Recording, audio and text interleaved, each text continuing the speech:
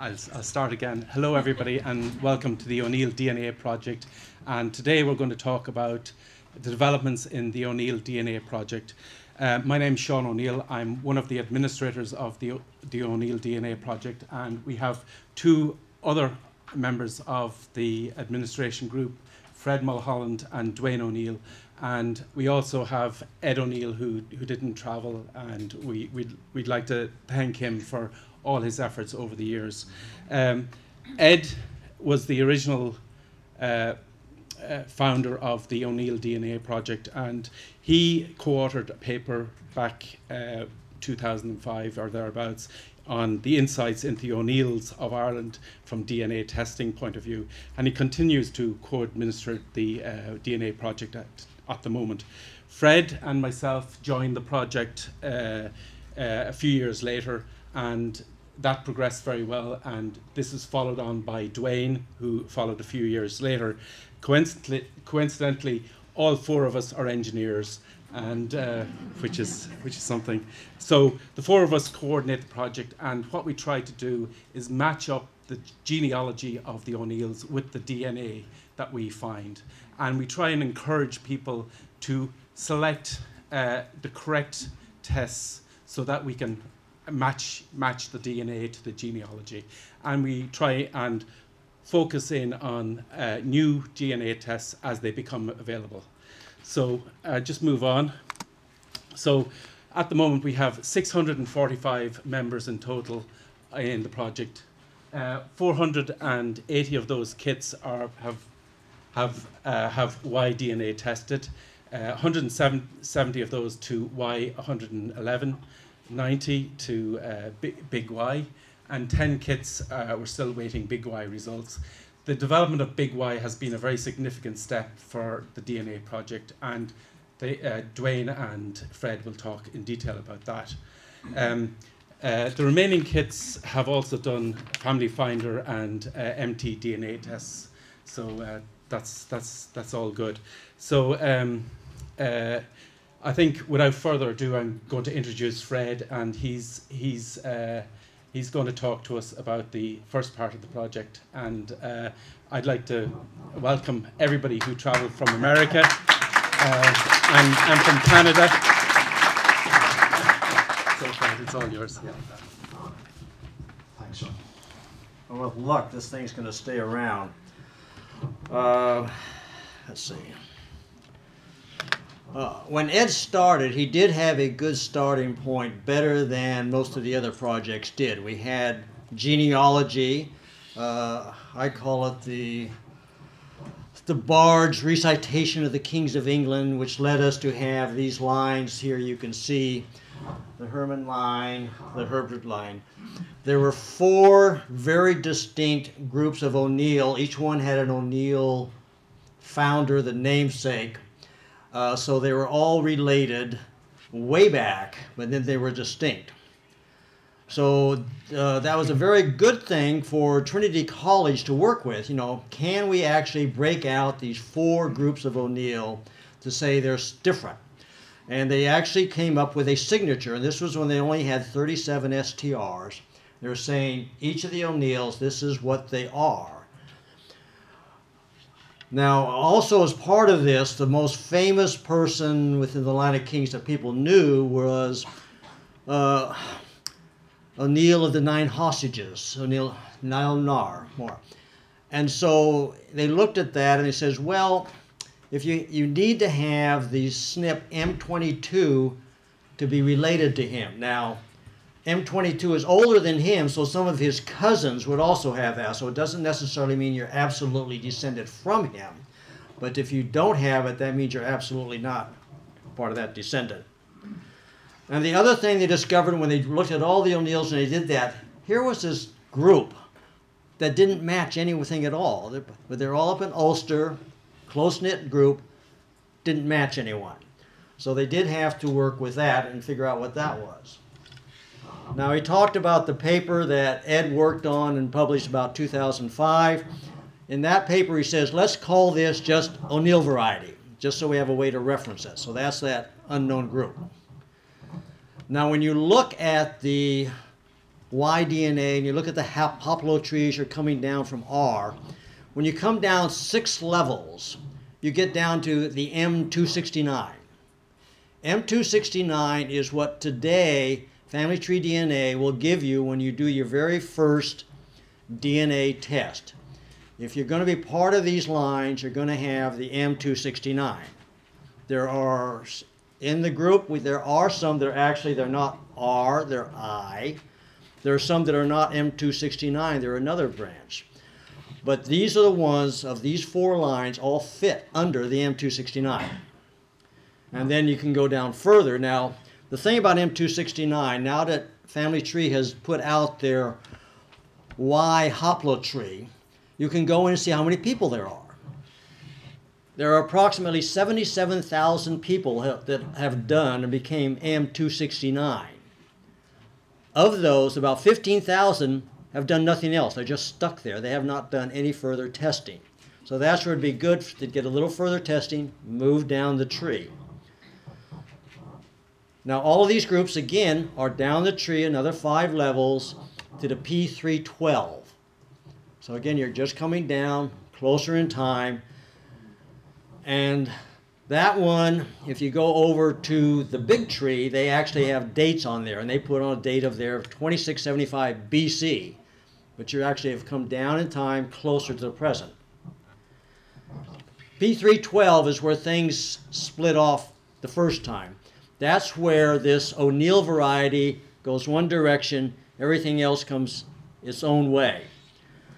And they call the first branch they have is the Z290. Then it goes down and gets up with DF13. And that, the meantime, did a common ancestor, you're at 2145 BC. You really came a lot. But that's where then everything starts breaking down into what are these four groups that were part of the original genealogy. Now, again, the dates are from uh, the big tree. They have a way of calculating dates.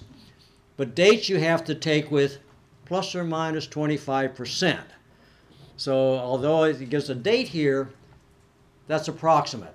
You can't be, those are not hard dates that you can set in stone. So this actually does kind of match up with the Bard's recitations a bit, if you think about about a 1690 or so. Now, as an American, I can never pronounce that name, so I'm not even going to try. Uh, but, but that's your first branch. Uh, and again, these SNPs, all the SNPs have a name, and the first letters say who came up with it.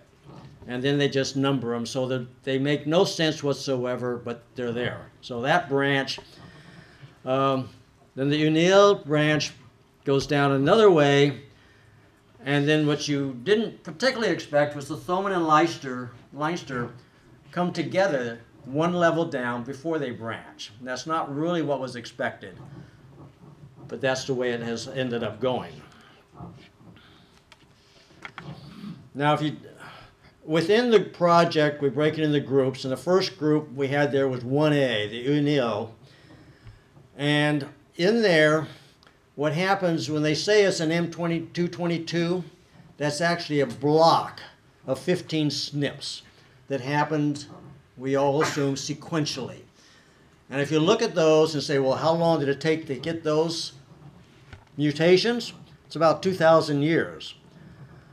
So you have about 2,000 years where there's no branches. This just goes from one point down to the other. Now you're 140 BC.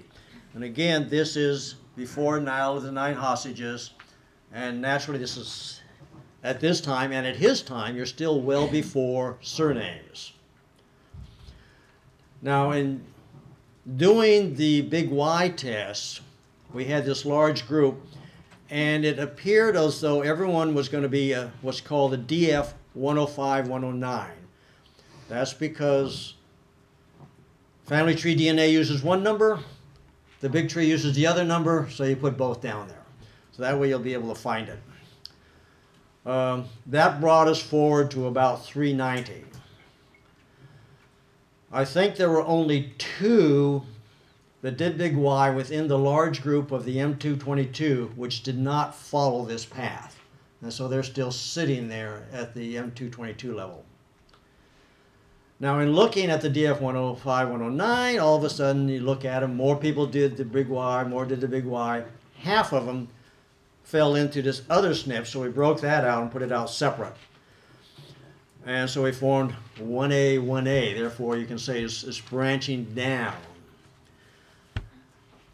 But that's one of them. We have the other people left in there, and there's five different SNPs where they could come down. So you got six branches there. I've only identified one. The others have one, maybe two there. So we're still trying to build up enough people to say there's enough to really have a branch.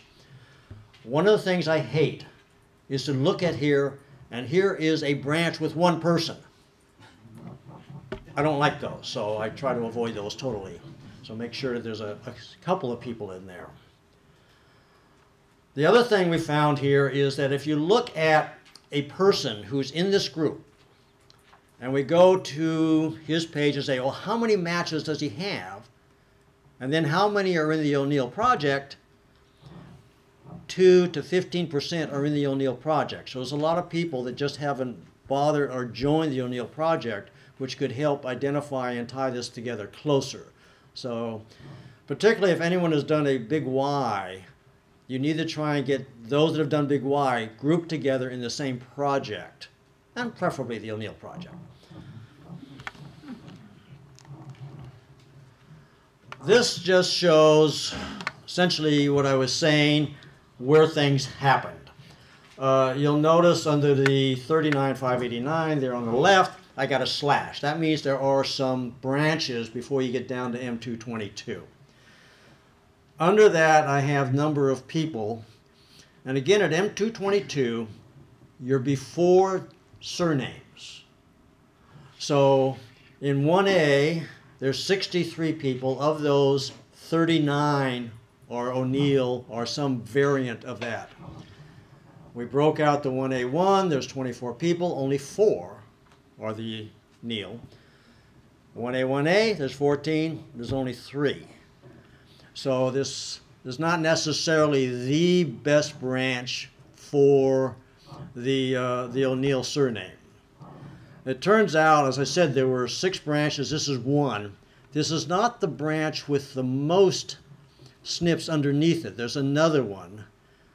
But there's right now within our group, there isn't enough really to break out a, uh, another group. But if you look at the FGC triple one thirty four, there's only 20 in there, but 19 of them are O'Neill. So this is a group where the O'Neills are joining if they're in that group and uh, going in there. But again, there's only 2 to 15 percent of the people that have that um, SNP. Then I show we got the breakout of the Thomond and the Leinster. And when I put like a 1D, a 1L, that is the group. If you go to the O'Neill project, you look at the groups, that's the group. Now, as they've been doing the, the big Y, and I look at that, I say, well, I probably need to move some people back and forth. The 1D is the one that was identified at first. That is going to be Thomond. But with that same SNP change, there was another group whose STRs didn't quite match, which is why we have a 1L. So the STRs don't quite match, but they both come down the same SNP tree. But you're quite far back in time. So it's hard to say. You're still around 1600 BC. So just, you could have some changes there. And then we have the Leinster, which again, here we have 15 with a surname of O'Neill or their variant out of 22 in the group. L513, there's a couple of groups there because their STRs don't look the same. And we don't really know what that group is. What are they? They're just unknown. They have shown up. They're in here. And again, there are some with the name O'Neill, but they don't seem to fit these categories that were created. DF21, there's the Colla. Now the Collas, the three Collas were assumed initially to be part of the M222. but they are not. And the Collas have their own website that goes into the whole thing and explains where they came from and the fact that they came over to Ireland later and they were not part of the original group that came over. Uh, and we only have two in there. Glen of Aherlow, that was uh, a group that sort of self identifies as we want to do this. They do show up separately if you look at the DNA. Interestingly enough, the one down at 3G at the very bottom, turns out he should be moved up there because he's done the big Y. It shows that, oh, well, he matches back into that group, so we can move him back up there. And then 3E, we just don't know what he is. Where'd he come from? Now I'm going to talk a little about, bit about O'Neill variety, and then I'm going to hand it over to Dwayne to go into the gory details about this. But the, the real question was, you know, where does this sit on the haplo tree? And a number of people, including me, were very frustrated for many years because we're stuck at 312, no SNP below 312 until they got big Y. Then they started doing things and they came up with the DF27 was identified. Now we can have a branch. After a while, they came up with the PH 2047. Hey, there's a branch under that. Then they came up with the Z1513. This group is Z1513. Everyone in the group will be that, although many of them still are stuck at 269, M269. If they test, they will come down to Z1513. Okay, so here's a group. What are they? Well, it turns out that they replaced the Tyrone O'Neill line. That if you start looking coming down the line of the Kings of the O'Neill, who's in charge, you know, who's the lead, the, the O'Neill, all of a sudden it switches over and becomes the Z1513. Um, and so if you look at this group, and this happened before the Clanaboys split, so you got the Clanaboys, you got the Tyrones, you got the Fews and McShanes, all fall into this category. So this is after the O'Neill name was in place. So you have some O'Neill name, M222, and then all of a sudden this one takes over. Uh, where it came from, we don't know. One of the things is this is another one where there's a block of 25 SNPs and you, there's no branches. So you're going back 3,000 years. Where has it been for those 3,000 years? We don't know. Now I put on some guesses here, Scotland and Spain, for two reasons. One is my assumption has been, which is good as anybody else's assumption or is bad, that they brought in warriors to help the Irish into fighting in the war. If they brought over, typically they would come maybe from Scotland. Uh, the reason I have Spain there is double because Spain and the Irish worked uh, together fighting against the English. And if you look at the DF 27 project, there's a lot of arguments about the origin of that. And there's a large group that says, my God, it is the Basque in Spain, up in northern Spain. So it could be. My assumption is, which is pure assumption, is that they had this people come over, they were helping the fight. One of them was a very natural, known, good leader, good fighter.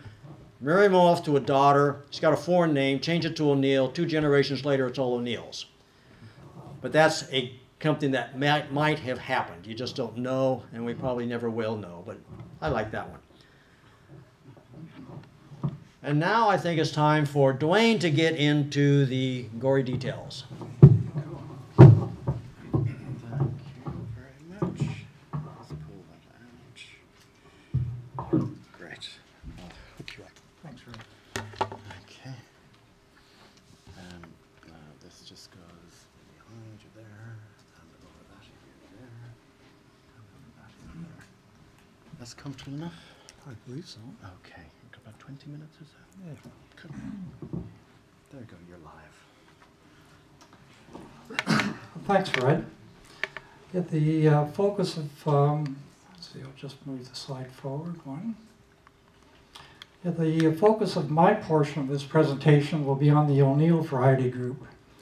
And the O'Neill variety is associated with, uh, as Fred mentioned, haplogroup Z1513, which is downstream of P312 and DF27. The O'Neill variety groups are 1B and 1B1 in the O'Neill surname project, with about 117 members in total. The main group of about 29 members is negative for the downstream SNP BY3292. The BY3292 positive subgroup has about 24 members. In addition, there is about 64 members that are very likely said 1513 positive, but may or may not be positive for BY3292 since they've only tested to 67 or fewer STR markers.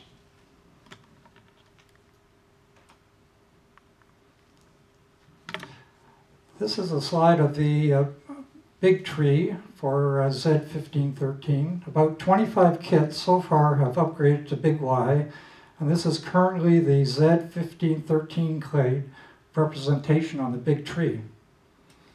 The Z1513 SNP block, as Fred mentioned, also named FGC49734 on the big tree, has about 25 uh, SNPs. So that's shown right there. Oops, I hit the wrong, there we go. At present, there's four sub-branches, including BY3292, which is, oh, I did that the second time, which is shown there. Then a, another branch, BY32400. And then a larger branch, BY3127, I'm sorry, this is BY32400. And then a third branch, this is BY31270. I'm going to practice this. And then there's a fourth unnamed branch here. Uh, an age analysis for the most recent common ancestor of Z1513 was completed, and it was done based upon taking the average of the unmatched variants plus the name SNPs for all the kits and using a range of 100 to 144 years on average per SNP. So the most recent common ancestor estimate for Z1513 was, sorry, was 832, okay.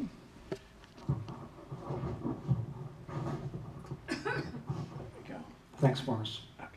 So the uh, age analysis for the most recent common ancestor for Z1513 is uh, 830 to 1170 AD. Then using a similar approach for the most recent common ancestor estimate for BY3292, so that would be right in here, would be 1250 to 1465 AD.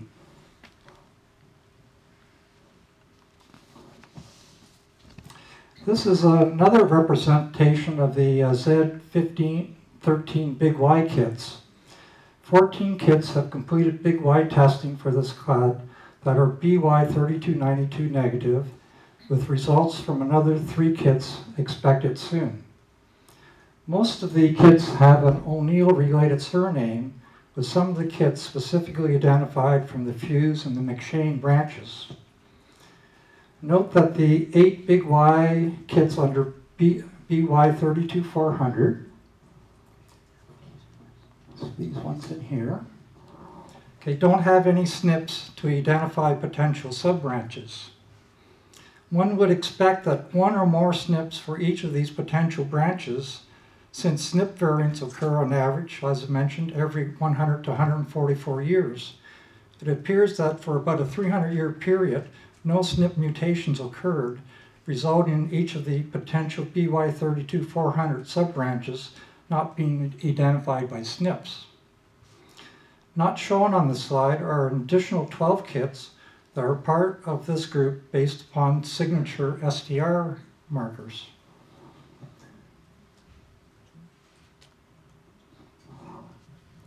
So both the Big Y and the STR kits are shown on this slide with some signature STRs added. The first signature STR is DYS 435, which is highlighted in green near the top. This one here.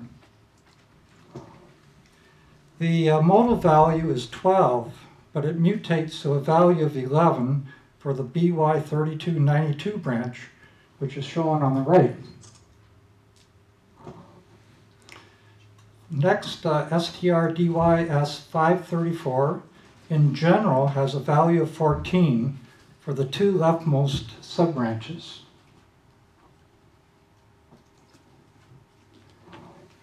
rather than the value of 15. Then DYS 449 in general appears to differentiate the center branch from the two on the right. And finally, DYS 715 values appear to differentiate the two leftmost branches. So in essence here, we're using a combination of SNPs and STRs to put in, in the uh, overall form of branching for Z1513.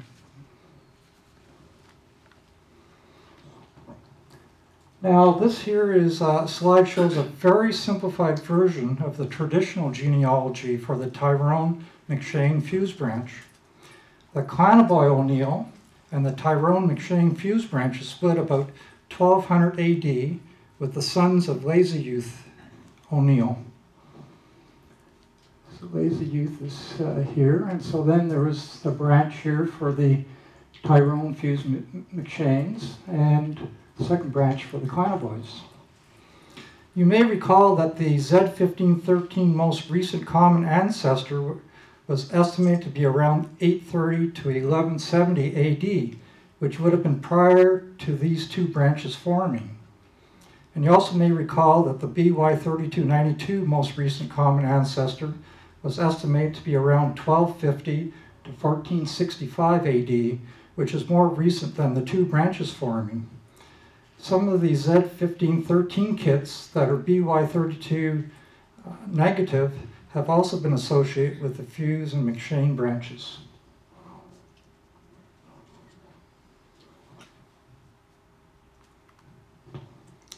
Next, we'll look at the BY3292 positive clade with 24 kits as shown in subgroup 1B in the O'Neill project. This is the O'Neill project listing for 1B1. And then shown on the right are most of the BY kit, big Y kits on the big tree.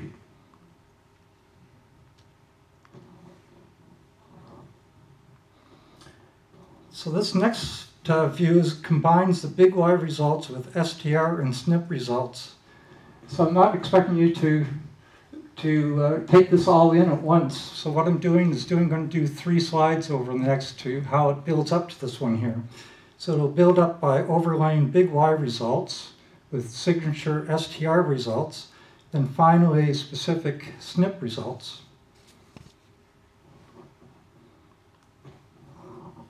This slide shows the 11 BY3292 Big Y kits and the likely positioning of the three kits with Big Y test results pending, and those kits are indicated by the yellow and green box coloring. So we're expecting within the next few weeks to get results from these three kits, and we're expecting them to maybe form sub-branches as a possibility. So there's three branches, one of the branches in the center has two sub-branches. And the third branch, which on the right, may have three sub-branches. It's likely that the leftmost branch, which will form one or more sub-branches when the latest big Y results come in. Note that the uh, big Y kits have on average only 2.5 unmatched variants uh, with some kits only have one, one unnamed variant. All these kits then have a common ancestors that are within the range of traditional Irish genealogy research from the late 1700s. As you might recall, the SNPs um, on average uh, develop every 100 to 144 years.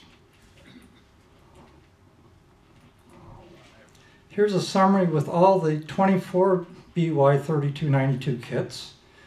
And uh, you might recall that all the Z1513 kits that have tested positive for BY3292 have a value of 11 for STR DYS 435. So it's stated right there. And so that's how we've been able to identify that all these kits are likely BY3292 positive through the STR number 111. Kits that have tested to 111 STR markers uh, all have the value 11 and been added to this here. And um, the ones that have just done STR markers are highlighted with a yellow background. Another STR, DYS 710, is highlighted by the yellow line. In general, DYS 710 has a value of 35 for the leftmost branch, being BY 31266, and uh, the value of 34 or 33 for the two rightmost branches. In addition, there appears to be specific STRs whose values are associated with some of the BY3292 subbranches. So in uh, using these uh, signature STRs, we've been able to then, using the signature STR marker values, we've, it, we've been able, several of the BY3292 identify kits, then we test it for specific SNPs related to a branch based upon the signature STRs. The kits that complete and confirm positive for a specific SNP are highlighted in a teal color. These ones down here, they just uh, tested for a specific BY31266 SNP and uh, they were positive, similarly with these kits here.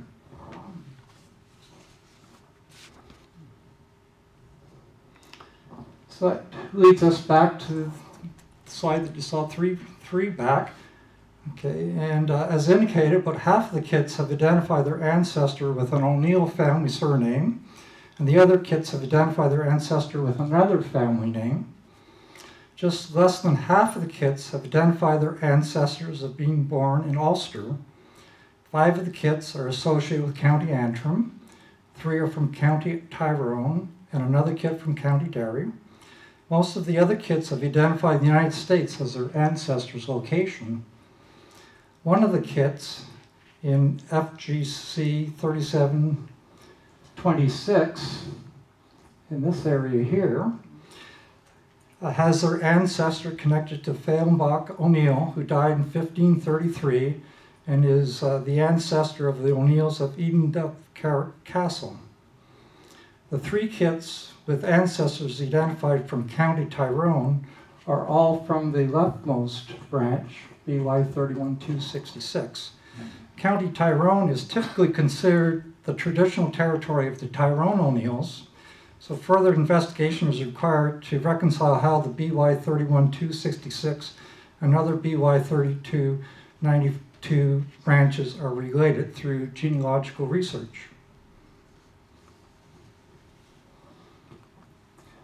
This here is a slide shows a very simplified version of the traditional genealogy of the Clanaboy branch.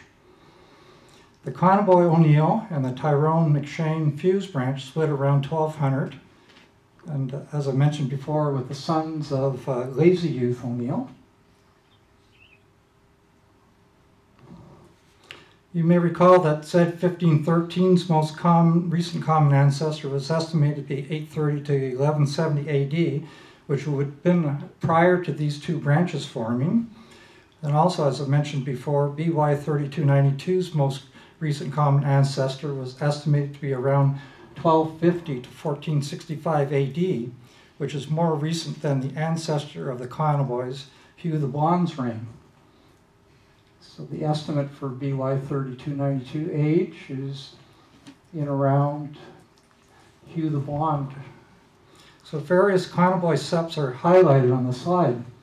So these are just some of the um, ones that have been identified through traditional uh, genealogy.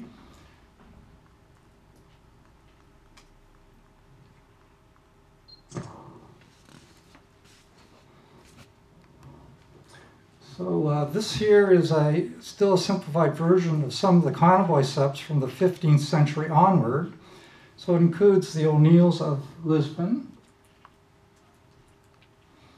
and the uh, O'Neills of Edenduff Carrick Castle, which is called Shane's Castle now, in the past few hundred years, and uh, the the O'Neills of the Dummel of the Braid. And then, um, even more recent than that, are some other septs of the Clanaboy O'Neills, as indicated here. So we're um, so we'd like to. So we'd like to identify the Clanaboy septs that are associated with BY 3292 subbranches. So connecting traditional genealogy with uh, with the genetic um, information we have. So we're in the process of recruiting members to upgrade the, to Big Y that have documented O'Neill lineage. This would be very helpful in matching the O'Neill septs to the SNP branches. Some of the specific Clanaboy lines of interest include the O'Neills of Lisbon and um, the O'Neill of Viva and the line of Hugh O'Neill, who may be the son of Brian John, who immigrated to Virginia in the 1700s. We are encouraging all O'Neill variety kits to upgrade to 111 STR markers. This would confirm that the kits are either BY32 positive or negative, and provide information for further SNP testing. We'd like to assess kits that have hit the Irish traditional research early 1800s brick wall through appropriate DNA testing.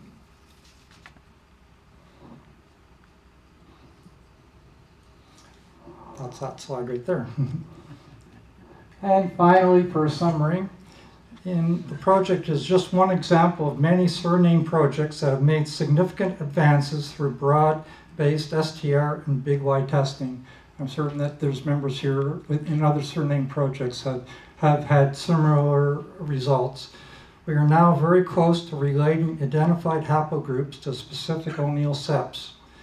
I'd like to do a sincere thanks to all the kits in the FTDNA O'Neill project especially those that have completed Big Y upgrades.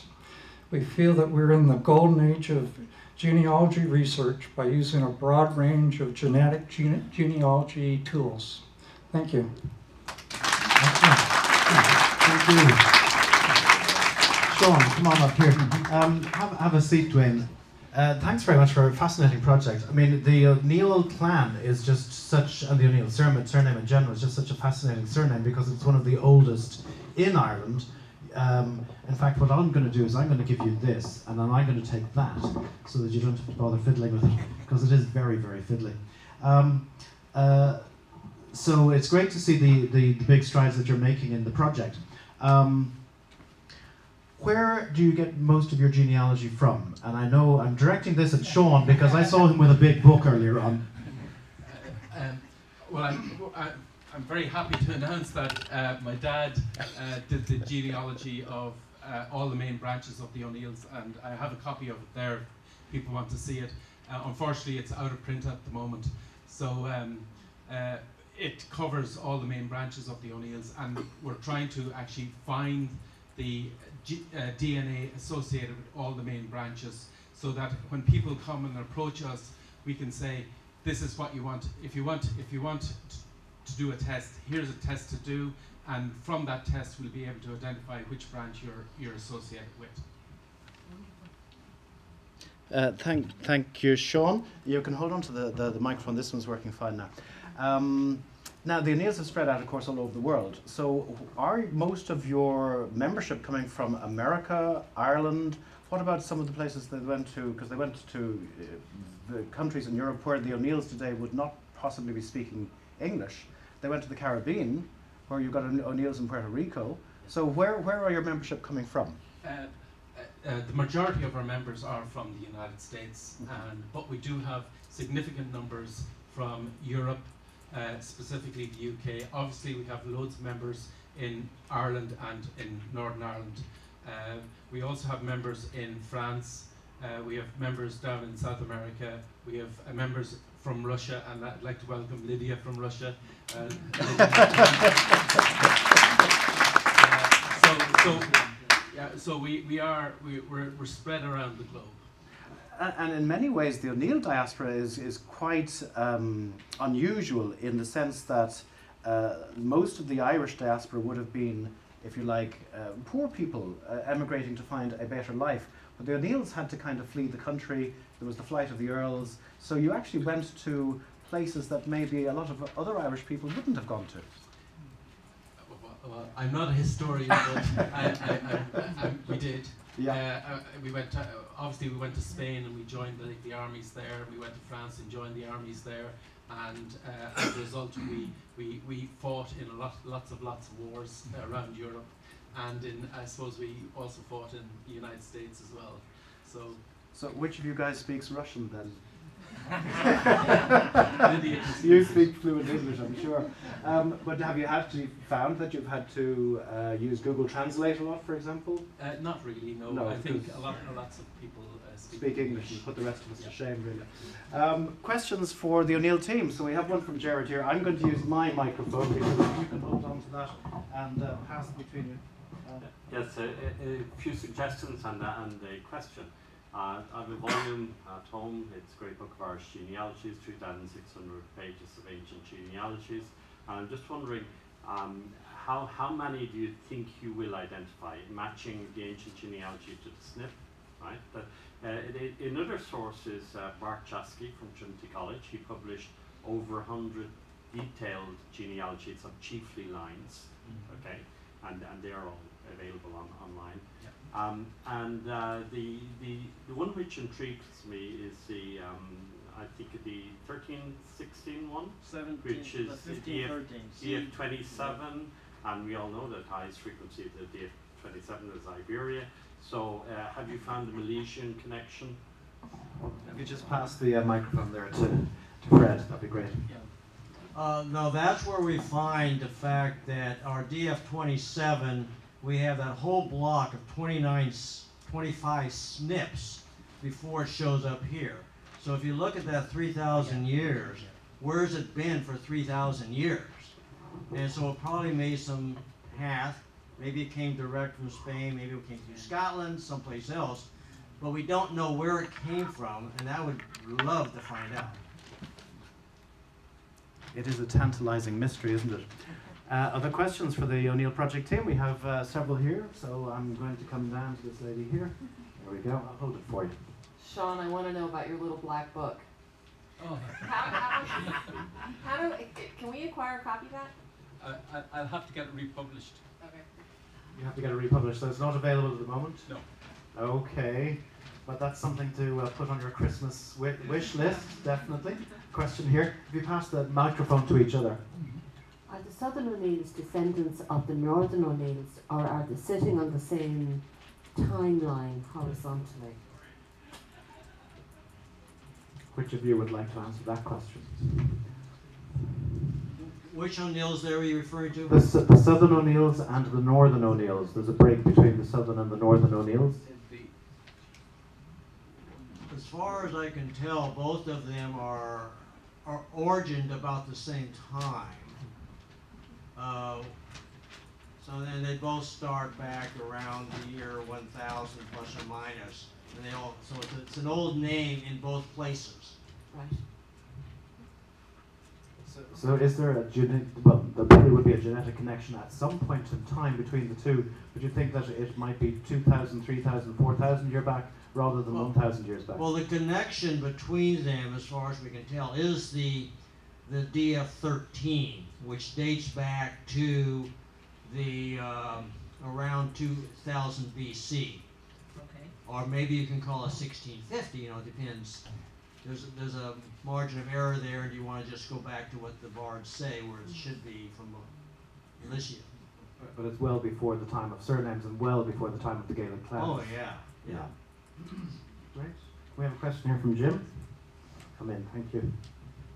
So I'm wondering if you've explored the possibility of putting together a SNP pack that would, uh, you know, leverage the results of the Big Y testing and then help you parse out the different individual uh, results. Can you actually do that though? Put a SNP pack together for all of the O'Neills or would you have to have several SNP packs for each of the branches? Well, for, um, uh, In for, for. BY thirty-two, uh, po- positive, we've had very good success at using signature STRs to, um, um, uh, recommend a specific, uh, SNP test. And so that was shown on one of the slides where I think all but one, uh, recommended SNP test came back as positive. Now, for the, uh, the group for, um, BY thirty-two ninety-two uh, ne- negative, being the Z fifteen thirteen group. Okay, right now, uh, we, we had, as I mentioned, we had the challenge with the uh, branches, okay? Seems like there was a SNP desert there for three hundred years where the, as you recall on the slide, the, the, um, three branches on, on, on one side don't have any specific SNPs. And so we're using, at this point in time, STR values, but we're hoping that over the, the, the next um, short while that more um, new big Y tests will um, flesh that out. And we have a question from Patty Waldron. I'm trying to figure out who discovers these new SNPs. I understood that BY. I'm holding it away from you. Oh. I, I can't hear myself. I understood that BY indicated it was discovered by family tree DNA and was from a big Y, but when I checked Sean on the big tree, he's a BY, but on family tree, he's still a Z, and BY 32400 isn't even in the family tree DNA haplotree. Yes, uh, fa- family tree doesn't recognize BY thirty-one, um, four, Thirty-two thirty-two four hundred. Be- because it's in the uh, DY's, uh, DZ uh, nineteen region. But um, the, the, um, the big tree recognizes uh, the, that particular SNP, and that, that's why it's shown on the, um, the big tree um, uh, um, as a, as a branch. Part of what we're looking for is we're looking for places that, we're actually looking for additional SNPs to break it up. Because what we ended up with was everyone in parallel, no common SNP. So they came up with one which is not a strong one, but it's at least a way to show some grouping. And they did say that the others did not have that. So it's, it's a weak one, but it did show a little bit of a way to, to break it up. And it's been consistent too. It's been consistent too. Great. Okay, well, um, I, I think it's fascinating work that you're doing, and the way that the uh, project is evolving is, is incredible. Uh, you're discovering more branches, and of course, the value for the people that are actually in your project is that they can hang their genealogies on your SNP slash STR tree like Christmas baubles on a Christmas tree. Uh, so that's the that's the invitation to all the O'Neills. There's also another invitation to all the O'Neills, and uh, Sean, if you take that microphone and just let them know. Yeah. Uh, everybody's entitled to join us in uh, the Lansdowne room for a drink afterwards uh, if you want to continue this discussion. Okay? Thank you. And on that note, it just remains for me to thank this wonderful expert panel for the incredibly great work that you're doing on the O'Neill project, and hopefully you'll come back in a few years with another update and um, bring some more O'Neills with you. So, ladies and gentlemen, I give you the O'Neill DNA project. Here.